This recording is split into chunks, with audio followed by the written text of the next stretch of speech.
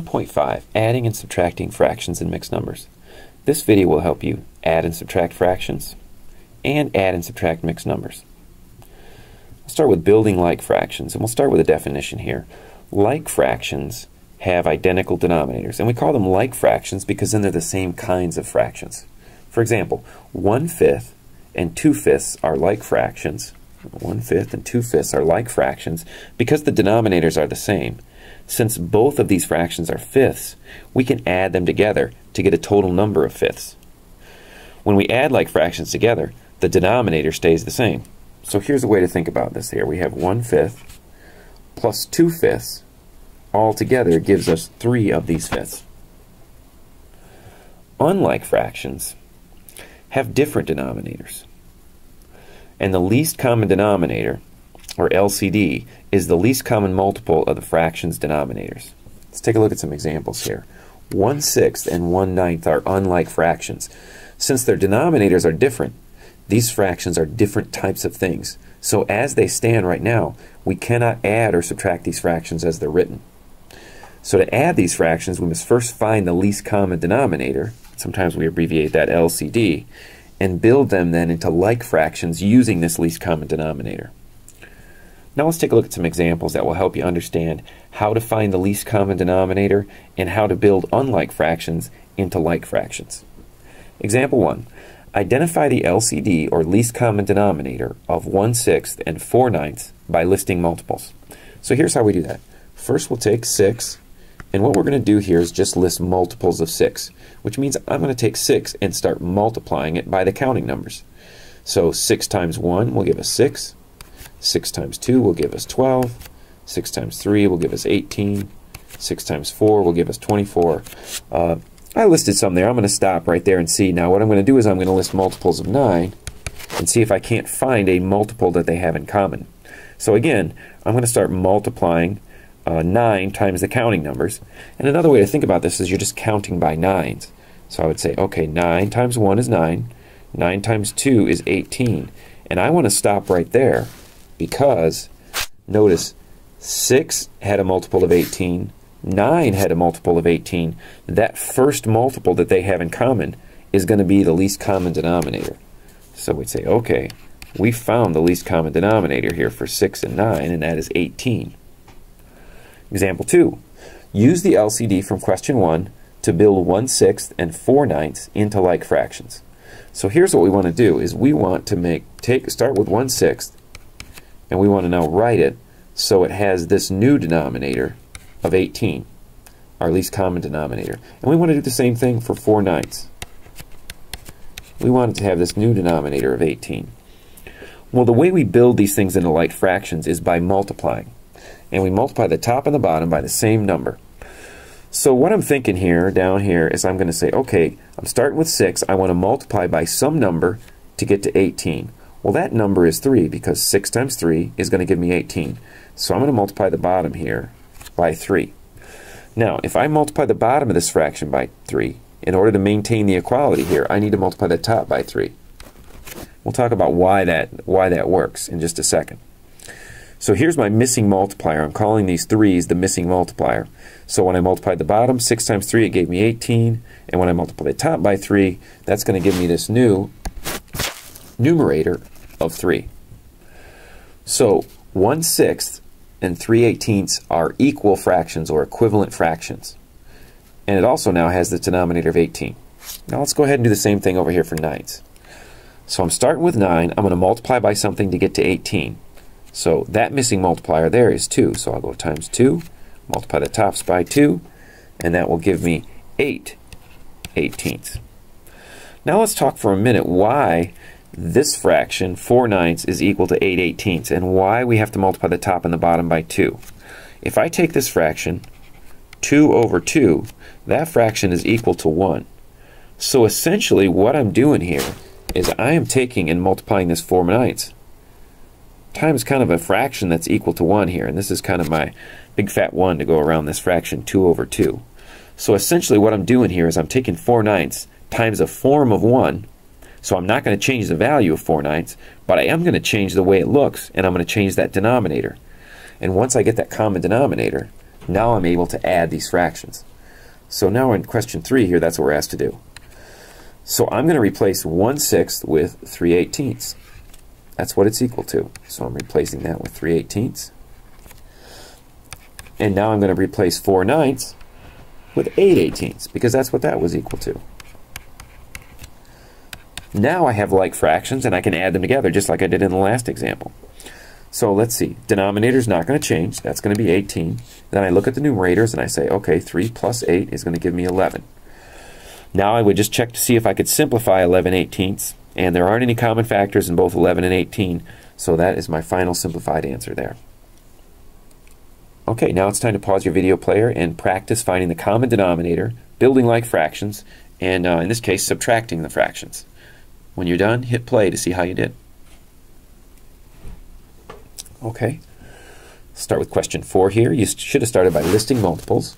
First of three. So we're thinking 3, 6, 9, 12, 15. If we need to list more, I'll stop there, but if we need to list more, we'll go back and list some more. Multiples of 4, 4, 8, 12. We can stop. Right there, they have a common denominator then of 12, because that is the first multiple that they share together. Okay. Question 5. Use the LCD now of 12 to build these fractions into like fractions. So we're thinking, okay, 2 thirds, and we want this to now have a denominator of 12, and then 1 fourth, we also want that to have a, a common denominator of 12. So now we're going to look for the missing multipliers. So starting with 3 to get to 12, my missing multiplier is going to be 4. So I multiply the top by 4 as well and that will give me 8 twelfths. Over here with 1 fourth, we're thinking 4 times what to get to 12? Well, that's 3. So I'm going to go times 3 times 3, and that's going to give me a new numerator then of 3. Okay? Now, once we have these things built into like fractions, we can go down here and replace them. So I can replace 2 thirds with an equivalent fraction, 8 twelfths. And I can replace 1 fourth now with the equivalent fraction 3 twelfths. So 8 twelfths, take away 3 twelfths. Well, let's start with the denominator. We know that when we add and subtract, the denominator doesn't change. Now we can just focus on the numerators. 8 minus 3 is going to give us 5. Now we would check to see if we could simplify. Well, we have common factor of 5 up here, factors of 3 and 2 down there, so they don't share any common factors. So that's the final simplified answer. Adding and subtracting mixed numbers. To add and subtract mixed numbers, we can use the commutative property to add and subtract the fractional portions, and then add and subtract the whole numbers separately. So here's what that looks like. The commutative property says that when we add things together, like we're doing here, we can add them. The order won't make a difference. It won't change the, the outcome here. So I can kind of think of it like this. I can think of uh, 2 plus 3 as part of my problem because those are the whole numbers here that I'm going to add together. And then I can add the fractions. 1 sixth plus 7 tenths. And usually we don't write it out this way, but I think writing it out this way makes it easier for you to see how we're going to go ahead and do this. So we can add the whole number parts very easily here. 2 plus 3 is going to give me 5. The only difficult part now is that we got to add these two fractions which are unlike, 1 sixth and 7 tenths. So what I'm going to do is I'm going to try to find the LCD. So I'll go off here on some scratch work and I'll start working on the LCD. Kind of one shortcut here to finding the LCD is to list multiples of the larger denominator until the smaller one goes into it. So let me show you what that looks like. So I'd say, okay, first multiple of 10 is 10. Does 6 go into 10 evenly? No. So next multiple, 20? No, that still doesn't work for 6. 30? Yes. 6 will go into 30. So there is my common denominator. So now what I'm going to do is I'm going to build both of these fractions now into 30ths. So let's see here. I want that to have a denominator of 30. I want 7 tenths to have a denominator of 30. So let's figure out what the missing multipliers are. We're starting with 6, trying to get to 30. So the missing multiplier there is 5. So I'd say times 5 times 5. And that would give me a new numerator here then of 5 30ths. All right, let's look at 7 tenths. Starting with 10, trying to get to 30. That's a missing multiplier of 3. So that's going to give me 21 thirtieths. Now we can continue on here. That whole number is not going to change. That's going to stay 5. But now I'm ready to add the fractions together. 5 thirtieths plus 21 thirtieths is going to give me 26 thirtieths. Let's go one more step here. We don't need this addition sign between these two. We can write them together. And then we can also simplify 26 thirtieths. Uh, both of those numbers are even, so I'm going to divide a 2 out of each of those numbers. So when I divide a 2 out of the 26, it's going to give me 13. And when I divide a 2 out of 30, it's going to give me 15. So my final answer here is going to be 5 and 13 fifteenths. Now let's take a look at an example with subtraction. So subtraction is very similar. We need to get a common denominator and then we'll need to subtract after we get done. So let's go ahead and write this out. But we can also think of this as subtracting the whole numbers and subtracting the fractions. We'll kind of condense this. I, I wrote a lot of extra work up there, but this is kind of how it would look like a little more streamlined.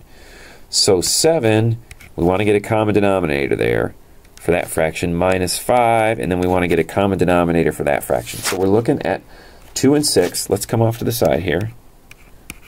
Find our least common denominator. I'll take the larger denominator and start listing multiples till the smaller one goes in. 6, oh, I can stop. 2 goes into 6. So the very first multiple of 6 is going to be our common denominator. So I want to change both of these now to 6. Uh, 5 and 1 6, that's already got the correct denominator. So I don't have to do anything to that fraction. 1 half, starting with 2, trying to get to a denominator of 6, that missing multiplier is 3. So times 3 times 3. So that's going to give me 3 6. Okay? Once I'm here, I can now go ahead and subtract. Uh, 7 minus 5 is 2. 3 6 minus 1 6 is 2 6. Let's go one more step here because both of those are even, so I could divide a 2 out of those. So that would leave me with a simplified answer of 1 third. So 2 and 1 third for my answer there. Go ahead now and pause your video player and, and do this practice question where you're asked to subtract with mixed numbers. When you're done, hit play to see how you did. Okay, so let's take a look here. We got to get a common denominator in order to subtract this. So let's see. Starting with my fraction bars here, let's get that common denominator. So off on the side. So over here on some scratch work, let's find the LCD. Take the larger denominator and start listing multiples. 4, nope, 3 won't go into that. 8, nope. 12, yes. There it is. So we want 12 as our common denominator. Now I'm going to look at my missing multipliers. So starting with 3, trying to get to 12, my missing multiplier there is 4. So times 4 times 4 gives me a new numerator of 4 there. Now let's look at 4. Starting with 4, trying to get to a denominator of 12, that means my missing multiplier there is 3. And so that's going to give me 3 twelfths. Now that I have a common denominator, I'm ready to subtract. 4, or sorry, 8 minus 4 is 4. And then the fraction left over, 4 twelfths minus 3 twelfths leaves me with 1 twelfth. Go ahead now and pause your video player again and answer this practice question where we're adding. But notice this, that when we get our answer here, we're going to end up with an improper fraction as part of this mixed number, and we can't have that. So we're going to have to pull the whole number out of there and carry it over to the whole number. That doesn't make a lot of sense right now. Go ahead and give it a shot, and then when you get done, hit play, and I'll kind of walk you through it. Okay, well, we already start with a common denominator here, so that's going to make this pretty easy. I'll add the 7 and the 2 to give me 9, and then I'll add the fractions parts. Then I'll add the fraction parts together. 5 sevenths plus 4 sevenths is going to give me 9 sevenths. And you can see 9 sevenths is improper. We don't want to have an improper fraction inside of a mixed number. So here's what we're going to do. We're going to add 9 plus, and we're going to take this 9 sevenths and write it as a mixed number. So I'm thinking, okay, 7 divides into 9 one whole time with a remainder of 2. So that's going to give us 1 and 2 sevenths. That's what 9 sevenths is equal to. So now I can come back over here and replace 9 sevenths with 1 and 2 sevenths. Then I can add the 9 plus the 1 and 2 sevenths, which will give me 10 and 2 sevenths. Now we would check to see if we could simplify 2 sevenths, and we can't, so that's the best we can do. So that's our final simplified answer there.